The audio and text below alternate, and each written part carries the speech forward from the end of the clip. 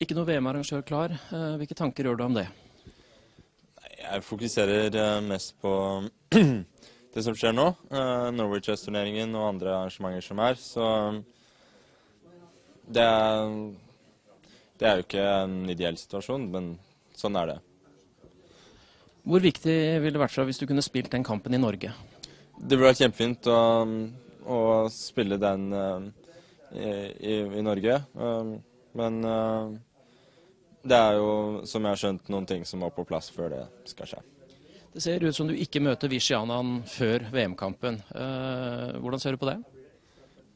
Um, nei, det, det er jo litt merkelig. Vanligvis så møtes vi jo turneringer ganske ofte, men det, er, sånn ble det nå en gang. Han vil ikke spille Nor Norway Chess. Så jeg vet ikke helt hvilke turneringer han skal spille i det hele tatt. Men, men det er greit. Jeg har møtt ham veldig mange ganger før. Jeg kjenner, kjenner ham godt, så jeg vet ikke om jeg trenger den matchingen mot ham frem mot en VM-match. Tror du det er en uh, fordel for deg egentlig at dere ikke møtes igjen? Nei.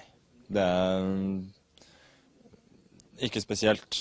Um, klart han kunne jo fått noen positive opplevelser i partiene mot meg, men mer sannsynlig er at han ville fått noen negative opplevelser. Så. ja. Hvordan er livet som sjakkverdensmester, Magnus? Nei, nå er det jo mye um, reising. Vært mye eh, frem og tilbake. Og det blir sånn en liten stund fremover også. Så. Men det er fint, det.